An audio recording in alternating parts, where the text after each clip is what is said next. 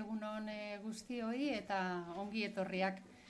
Emakunderentzat beti posgarria da, ba, eudelekin e, dugun elkarlan hau e, adieraztea, aurkestea eta ba, gaur bezala ba, elkarlan honetatik ataratako emaitza aurkestea. Beraz, bueno, ba, lehenik eta behin esan ba, oso posik e, gaudela. E, momentua ba, aprobetsatu nahi dut gogoratzeko e, ba, erakunden arteko elkarlana 2006 garren e, urtetik e, datorrela. 2005 garren urtean, berdintasunerako legea onartu zanean, ba, argi izan zan, udalekin egin beharreko lana, eudelekin batera egingo genuela. Eta zentzu horretan, ba, itzarmen bat sinatuta dugu, eta udalei begira, ba, planteatzen dugun e, eta elkarren artean adosten dugun proposamena bueno, ba, gauzatzeko ba, urtero e, laguntza ekonomikoa eta teknikoa ematen diogu eudeli. Eta 2006 garren urte horretan ere berdin zarea, e, berdintasunaren e, aldeko udalen zarea sortu zen. Baina, e, esan dezakegu, ba, udalekin dugun harremana edo elkarlana, aurretik datorrela eta mugarri bezala 2000 da lehengo urtean emakumen e, edo indarkeria jasaten duten emakumei erantzun egokia emateko bakordi horretan finkatu dezakegula.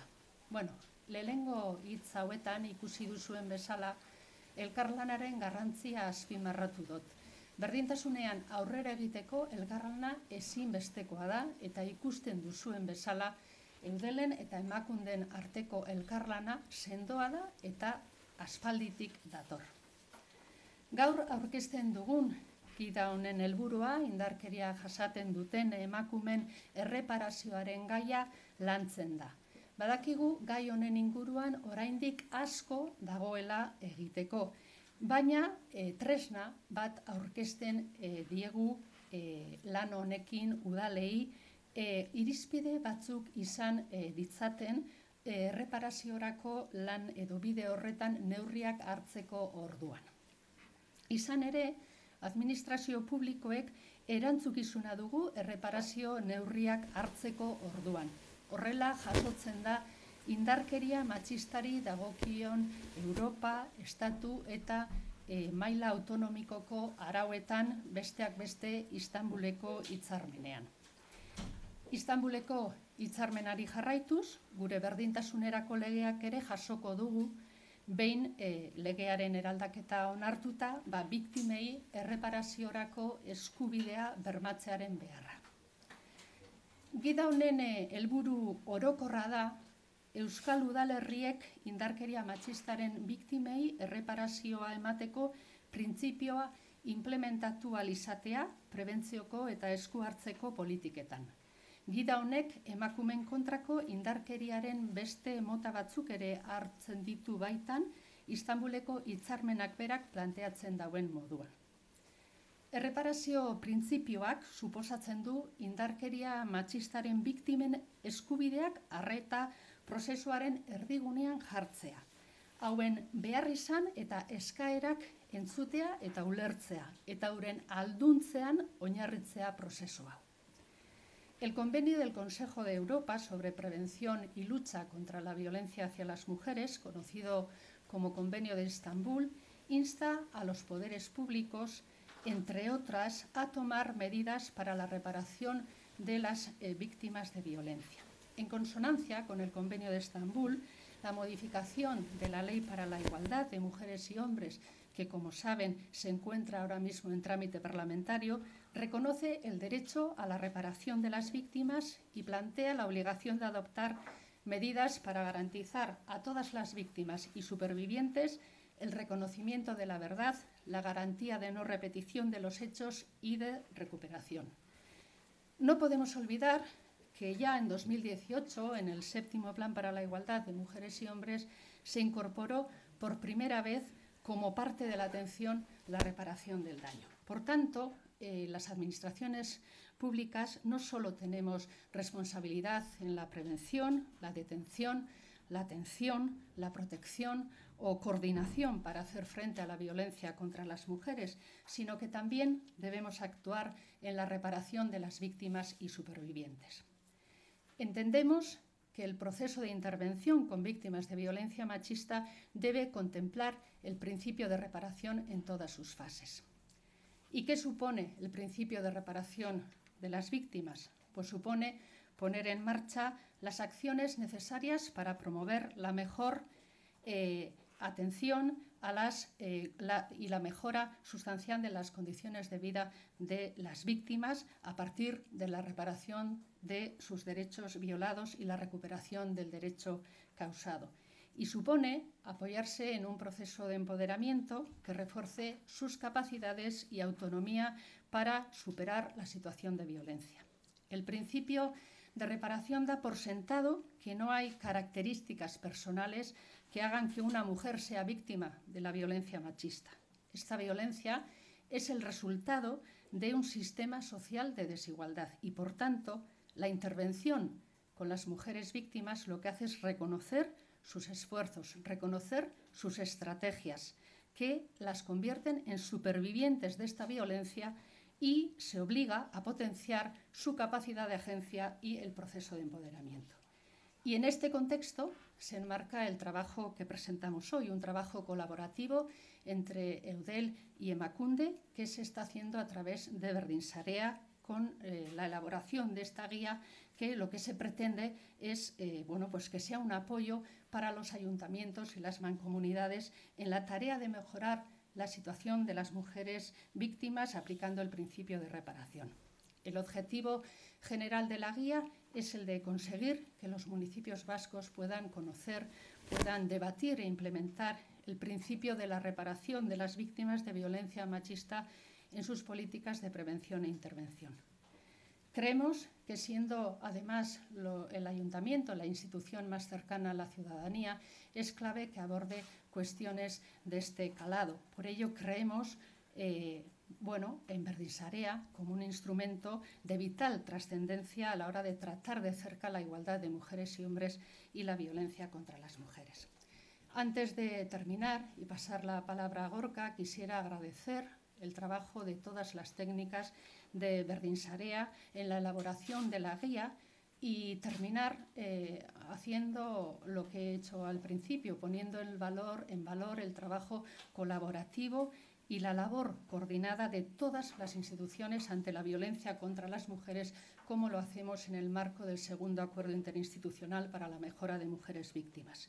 Trabajamos eh, con la idea de la mejora continua. Somos conscientes de los desafíos aún pendientes, pero considero que contamos con una larga trayectoria de colaboración interinstitucional que ha permitido contar con unas estructuras consolidadas que sin duda aspiran a prestar la mejor de las atenciones. Beste barik, gorka, zurea da hitza, dakizuen bezala, bera, e, gazteizeko alkateaz gain, eudeleko presidentea da, eta hoin berak hartatuko. Eskerrik asko. Zuri, izaskun eta ongi, ongi torriak hoi, eta eskerrik asko tortzeagatik. Bueno, lehenengo hitzak izan behar dira, eh, eskertzeko, emakunderi, eh, egindako lana gurekin, eh, Euskal Autonomia Erkidegoko udal guztiekin, ba, udal eh, gira liburu hau eh, egiteko, eta baita ere, eskerrik asko emakunderi, ba, guri laguntzeagatik, udalerri berdintzaleak, inklusiboak, eta eta nitzak, ez, e, egite aldera. E, nik bezako nuke udalerrien zeregina funtseskoa dala indarkeria matzistaz ari garenean. Ze indarkeria matzistaz e, ari garenean e, ba, giza eskubideen urraketaz ari gara. Eta beraz, kasu honetan udalerriok ezin e, dugu beste bide batera e, begira. Ez? Egon behar gara e, presente eta ikusi beharko dugu guretzat lehentasunezko gai bat da indarkeria matzistaren aurka e, ko politika jorratzea. Eta oso importantea da ere udalerrion zeregina, ze azken finean askotan ikusten da indarkeria matxista gai pribatu bat bezala. Eta guztiz kontrakoa, ez? denoi dagokion e, gai bat da, e, gizarte osoari dagokion gai bat da, eta beraz, e, arlo pribatutik, e, arlo publikora pasatu beharko dugu beti, e, indarkeria matxistaren edozein kasua. Eta azkenik, e, nik ere esango nuke, udalerrion zer egina oso importantea dela, funtseskoa dela, ba, sensibilizazio lana e, jorratze aldera eta kontzientziazio hori edatzeko gure udalerri guztietan ba, zero tolerantzia hori bermatzeko indarkeria matzistaz ari garenean.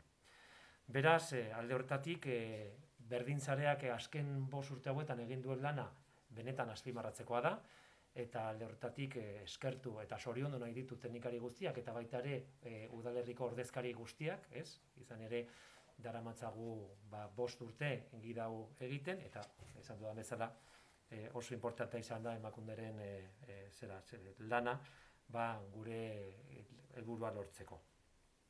E, gaur aurkezten dugun gidau oso importantea da. Zer azken finean nik esango nuke, estatu mailan aitzindari delako. Eta aitzindaria da, ba, indarkeria matxistatik bizirik atera diren emakumen erreparazioa bilatzen duelako eta aizaskunek aipatu duen bezala, erreparazio ikuspegi hori oso importantea da, ez, udal e, liburu hau egiterakoan. Beraz, e, nik esango nuke, ba, kasu honetan ere, Euskal Herriko udali herriak aitzindariak dira, ez, erreparazio ikuspegi hori barneratzen dugula, eh, gure zereginetan, eta beraz aldortatik ere indarkeria matxistatik bizirik ateratzen diren emakumen erreparazio hori, errebalitazio hori, bermatzen e, saiatzen delako. Bestale batetik ere, gida oso importantea da, udalerri guztietan, baina bereziki, udalerri txikietan, ze askotan, hor e, gizarte kontrola handiagoa da, eta beraz saiagoa da, gizarremanak berreskuratzea. Eta alde horretatik oso importantea, erreparazioa ari garenean, erreparazioa ari garenean oso importantea da, aurreko egoera e, berreskuratzea, e, e, indarkeria matzistaren e, biktima bat entzat, ez? Eta espero dugu beraz oso baliagarria izatea udalerri guztietan, berezik ere e, udalerri txikietan, ez? Bueno, pues eh, yo querría destacar en primer lugar mi agradecimiento a Emacunde por, por desarrollar este trabajo conjunto con los ayuntamientos vascos a través de UDEL, por orientarnos, por ayudarnos y por incorporar ese, ese enfoque innovador del que estamos hablando. Destacar también el trabajo que se ha hecho por la red Verdín Sarea, que se dirige desde UTED, tanto por los técnicos municipales como... ¿Vale? A ver, ahora, ahora bien, sí, vale. Pues destacar el trabajo que se ha hecho, porque son cinco años, son desde el 2015, entonces aquí ha habido mucho trabajo de técnicas y de técnicos, de, concejales y concejales, hay concejalas, de alcaldes de diferentes ayuntamientos y que ahora recogemos el fruto de este trabajo realizado en este último lustro. Decía que es muy importante el papel de los ayuntamientos cuando hablamos de violencia machista, porque cuando hablamos de violencia machista lo que estamos hablando es de la vulneración de derechos fundamentales de las mujeres.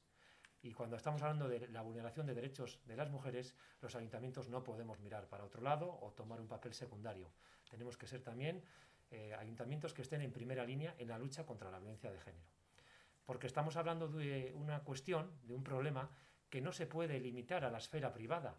La violencia de género no es una cuestión del ámbito privado, es una cuestión que nos afecta a toda la sociedad, porque supone la vulneración de los derechos fundamentales, especialmente el derecho a la vida. Y por tanto, en ese sentido los ayuntamientos también tenemos que tomar un papel proactivo. Y también es fundamental el papel de los ayuntamientos porque tenemos que seguir haciendo un trabajo de concienciación y de sensibilización. Todavía queda mucho camino por recorrer, para llegar a ese estado de tolerancia cero ante cualquier actitud, cualquier comportamiento eh, eh, que sea contrario al respeto, a la libertad y a la igualdad de las mujeres. Bueno, eh, por lo tanto, estamos hablando de una guía que es única en el Estado. Es única porque incorpora un enfoque muy novedoso, muy innovador, que es el enfoque de la reparación. Es decir, que lo que pretendemos con esta guía es que a todas aquellas mujeres supervivientes de la violencia machista puedan ser reparadas en su integridad, en su dignidad, como mujeres y como personas. Y este enfoque de la reparación, de la rehabilitación, es un aspecto absolutamente innovador en las políticas públicas y también en las políticas locales. Porque, como bien ha dicho Izaskun, pues lo que pretendemos fundamentalmente es que los derechos de las víctimas estén en el centro de atención, pero sobre todo lo que queremos es que se retrotraiga su situación social y personal a la situación previa a la violencia machista. Eh, en este caso, ya esperamos que este trabajo sea útil para, como herramienta de trabajo para todos los ayuntamientos, especialmente los ayuntamientos pequeños. ¿Por qué? Porque lo decimos también en situaciones de pandemia, al final son en los municipios donde se producen las relaciones humanas. Y también eh, las relaciones humanas ahora las vemos afectadas por la situación de pandemia, pero ¿cuántas mujeres ven afectada su, su vida por situaciones de violencia de género? Y especialmente en municipios donde hay un mayor control social y donde las situaciones se pueden haber todavía mucho más agravadas por la imposibilidad de desarrollar una vida digna y normalizada en el espacio público. Por eso es muy importante que adoptemos este enfoque reparador, este enfoque rehabilitador y que sirva como una herramienta útil para ayuntamientos también, pues municipios más pequeños donde pues todas las personas se conocen y donde quizás a veces todavía es mucho más difícil poder dar respuesta a este objetivo. Y por último, yo querría destacar que la guía tiene tres objetivos. El primer lugar es el compromiso institucional. Reafirmamos el compromiso de los ayuntamientos vascos eh, en la lucha por la igualdad y en la lucha contra la violencia de género. Eh, es un aspecto fundamental porque estamos hablando de derechos fundamentales, de derechos humanos y especialmente del derecho a la vida.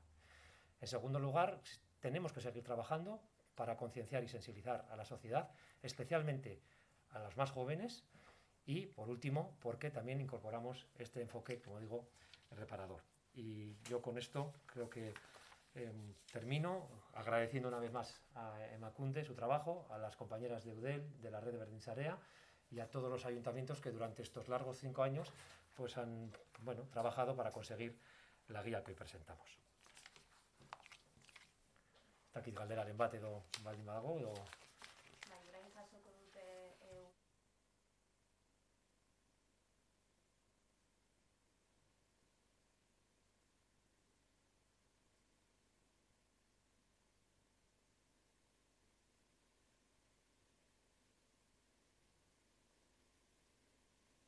Bueno, ba, hasieran esan dodan bezala, e, lehenik eta behin nahi dana da gai honen inguruan e, udalen barnean hausnarketa bat egitea eta udal bakoitzak identifikatzea zelan edo nola e, erreparatu daiteken biktima izan den emakume bati edo indarkeriatik bizirik e, atera den emakume bati, ez?